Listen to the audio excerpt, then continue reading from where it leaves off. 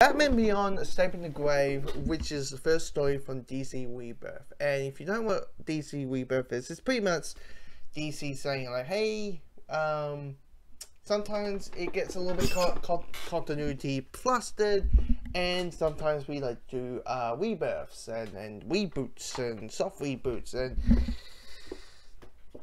they did a soft reboot a few years ago, and this is the first story of the soft reboot for Batman Beyond. Now, what we appreciate from the first issue is that Bat they kind of give you the concept of Batman Beyond of Terry McGinnis, who is this 15 year old, finds the Batcave, and he puts on the Batman outfit. Turns out it's you know because Bruce Wayne's too old to be Batman, and now Terry's Batman, and he's kind of Spider-Man in a Batman outfit. You know, he's that's the whole concept of it. And originally, it was an anime show that, so, because of the concept, they DC decided like, hey, we like like it so much, so let's make it into a comic book. You know, stuff in those lines. And, and here's the thing, like, I'm like Bruce Wayne is like the only Batman. I don't lie, I had some fun time reading this.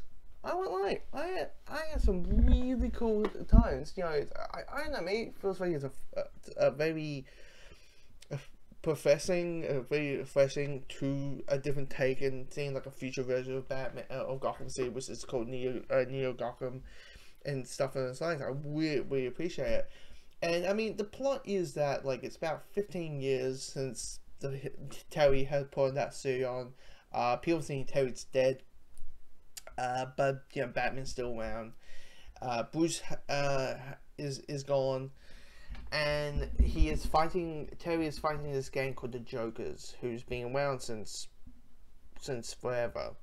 But they are going big and bigger and bigger to the point it's just ridiculous. Now this is joke. Yeah, it's spelled Jokerz with a Z, by the way.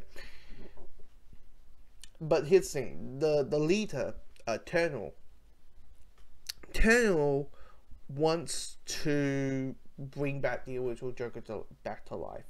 And of course, Terry and Dinah and Max and Wex and everyone else is pretty much saying like, um, if you were like bringing back, I don't know, Green Lantern, cool trying to bring back that guy back. Cool, cool, cool. Fine. Green Lantern's cool. Maybe not the parallax thing, but cool.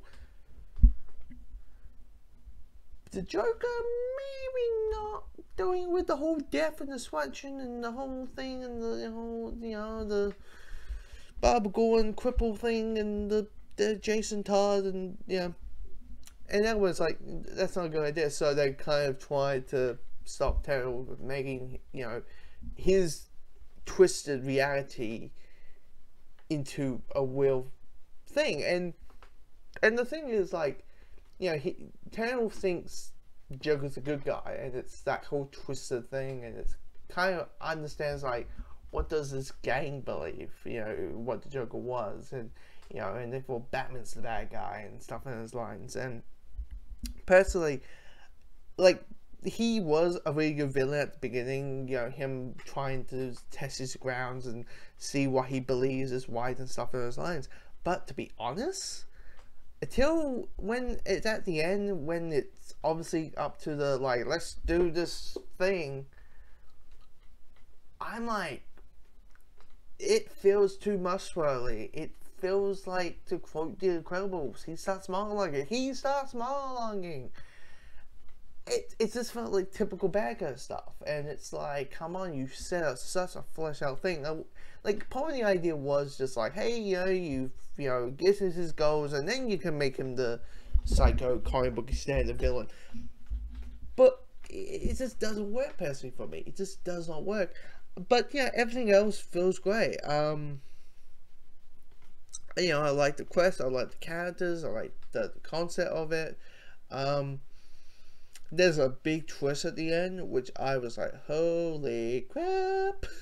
I was like, please tell me, like, I, am I'm, I'm, I'm not what at this point, volume two, but people tell me, tell me if that ending, like the last like two pages, pays off, because I'm both like, oh my god, but um, but yeah, I it's it's a quite great good thing to read.